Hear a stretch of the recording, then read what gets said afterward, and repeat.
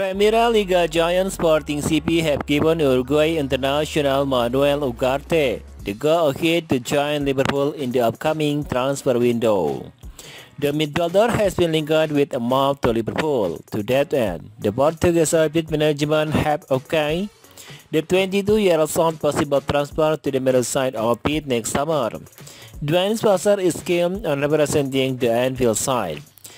Speaking to Liverpool transfer room via Twitter, journalist Brian Kirchman revealed that it is now up to Liverpool to negotiate with Lisbon, Ben's club for Ugarte and come to an agreement. Ugarte has the okay from the backroom management staff for a move to Liverpool, but now it is down to Liverpool and on and the negotiation with Sporting. Ugarte would love to play for Liverpool and that could help negotiation, but it won't depend 100% on him. In the summer of 2021, Sporting CP signed the Uruguay international from Famalicão. Immediately, he became a key player for Ruben Amorim team in the previous campaign. This season, the midfielder has once again been pivotal to the Lisbon-based club plans.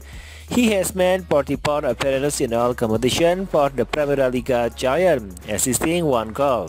The 22-year-old has mostly been deployed in the summer six position during his time at Sporting. However, the Montevideo born star is also capable of playing a bit further up the pitch at the middle of the park. Liverpool midfield has been underwhelming in the current campaign. The like of Handel, Thiago Keita, and Ox have been injury prone. On the other hand, Fabinho, who has been our impulse for a number of years now, has differed considerably. The Brazilian national has looked a shadow of his former self this season, which has evidential made our engine room worse.